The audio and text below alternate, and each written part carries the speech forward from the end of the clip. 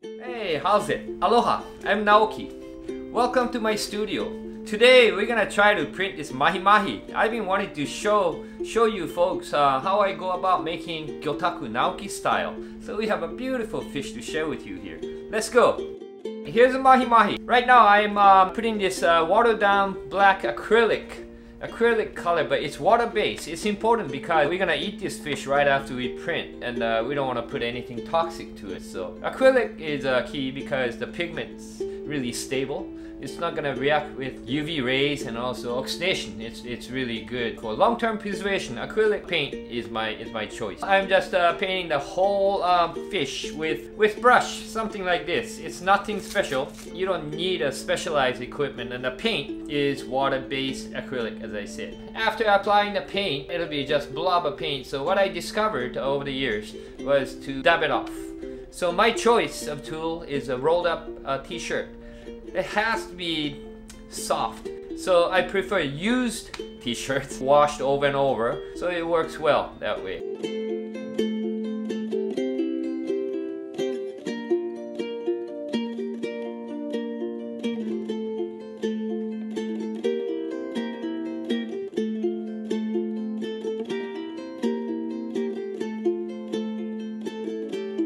I dab it through uh, to take the brush strokes and the excess amount of paint off.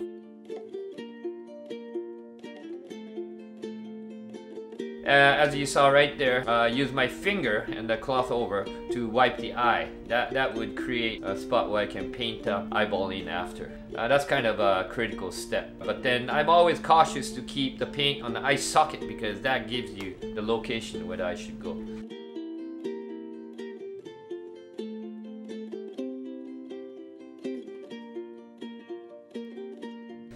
And here's a paper.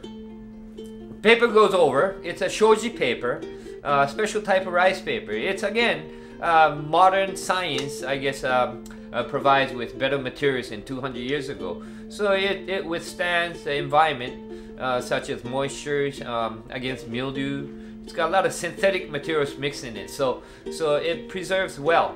And actually, uh, when people started doing gyotaku 200 years ago, technology wasn't so advanced, everything was so organic. And as you know, organic materials doesn't last as long as synthetic. Like Twinkies wouldn't last 20 years if that was organic, right? It's, it's always good to think in terms of preservation because not just next year or 10 years from now, we want um, our kids, grandchildren to look at this. So 50 year, 100 year preservation would be, would be a nice, nice goal.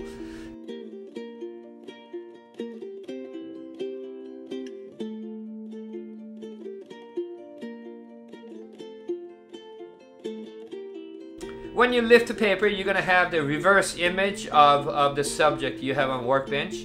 And again, by dabbing the uh, ink off, you're gonna get the consistency that we're looking for, and also the um, uh, texture and the detail. And here's a paint. Okay, uh, again, it's acrylic, same type of paint, but this one's very much diluted uh, because we're gonna use water. Water is a vehicle we have to we have to use water but too much is no good because then it's gonna take take your control away. Okay water is a very powerful element. So if you if you learn how to tame it and then to uh, to use it as a tool it's very useful. But then if you just let it go as as naturally without control uh, it's gonna take over. It, will uh, create or destroy water does everything uh, I'm rubbing rubbing it onto the paper but then before that what I did was I sprayed a mist of water clear water and some um, uh, localized areas like fins and stuff um, because with the spray I don't have control I use brush to actually moist moisten the paper before I before I apply paint. So that gives the feathering effect that I'm looking for. It's not gonna give that solid line of like a, um, a paint over dry paper. So it's a feathering effect. I guess uh, airbrush artists would would uh, use the spray and in mist mode and then to feather. So um, this is more like watercolor kind of technique. So you use water and then to prepare the medium before you add pigments to, to add color, to shift colors. Obviously, I start with lighter colors and then go darker. Obviously, I feel naturally I, I have more control over my uh, layers and layers of coloring. So this is very much diluted yellow uh, I see in Mahi Mahi with gold uh, pigments uh, as as uh, people call this fish dorado in mainland. Uh, actually, it's from South America name, but uh, it's golden. So it's got a lot of gold shimmers to it. So uh, predominantly yellow, but then uh, gold, gold pigments I, I add to yellow to bring out uh, more lifelike color. Again, based on my opinion. So we all see things differently. We all feel different. nature provides provides us with full spectrum colors but then uh, uh, we can translate it all differently.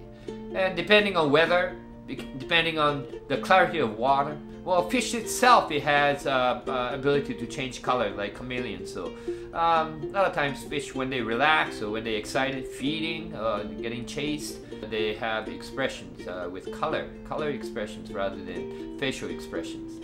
So it's really interesting to observe the nature and more attention you pay, I guess, uh, more you learn because all the information's out there. So it's all up to you. Uh, how much attention you pay um, will provide us with uh, answers, I guess, we're, we're uh, looking for. So I go in the water and I swim with the fish. I see them. And uh, I remember how they look, right? So after you see, you know, hundreds, thousands of fish, then uh, um, when you close your eyes, you start seeing them and you have to know the subject, not not just knowing how they look, but how they behave, how they share space, how they chase bait, how they communicate, how how the life takes place underwater. I think uh, uh, all those uh, uh things combined uh, will tell the story better than just looking at stagnant dead fish on your wall. Yeah, we want to show life rather than just a dead dead trophy on your wall.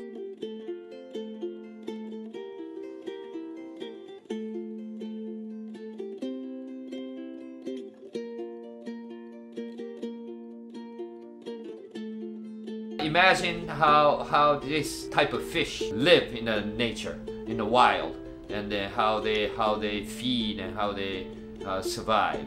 Um, the more you feel the nature, the better your your art comes out. In, in, in this case of my style of Gyotaku, it's all nature based. It's really nature teaches us everything, and you just have to observe and absorb enough uh, from the nature components and and everything you you require to to express.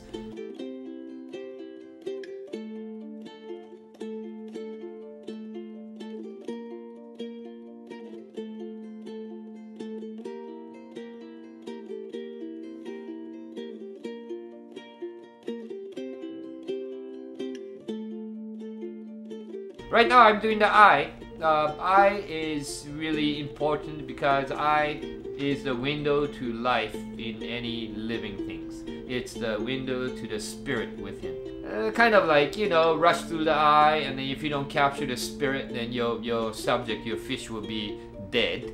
Um, if you do the eyes right, then it starts swimming and then it starts looking for something to uh, feed on almost. This mahi mahi has, has his uh, mouth open. Um, and then he looks very aggressive. He's, he's hungry enough to go look for another flying fish or something. Came out pretty cool.